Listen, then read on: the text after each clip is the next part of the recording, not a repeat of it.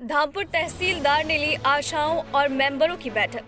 Covid 19 प्रबंधन के अंतर्गत ग्राम अमखेड़ा, संजरपुर के प्राथमिक विद्यालय में निगरानी समिति की बैठक का आयोजन किया गया।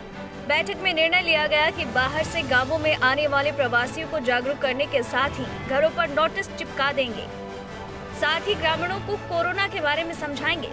बताया कि कोरोना महामारी के प्रकोप के बीच प्रवासी मजदूरों की गाँवों में लगातार संख्या बढ़ रही है। बैठक में तहसीलदार रमेश चंद्र चौहान, नायब तहसीलदार परमानंद श्रीवास्तव, ग्राम प्रधान दीपक चौहान, लेखपाल डेविड सिंह सहित आशा और आंगनबाड़ी कार्यकर्ताओं ने भाग लिया। नवभारत समाचार धामपुर जनपद बिजनौर से दिनेश कुमार, प्रजापति की रिपोर्ट। ग्राम अमखेड़ा संजरपुर में निगरानी समितियों की बैठक ली गई तथा इनके द्वारा जो कार्य किया जा रहा है, उसकी समीक्षा की गई, तथा कार्य को अच्छा तरीके से और करने के लिए इन्हें निर्देशित किया गया और इन्हें जानकारी दी